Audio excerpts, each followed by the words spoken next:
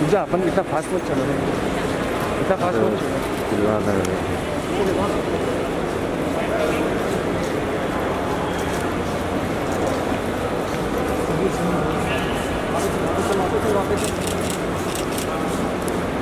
Thank.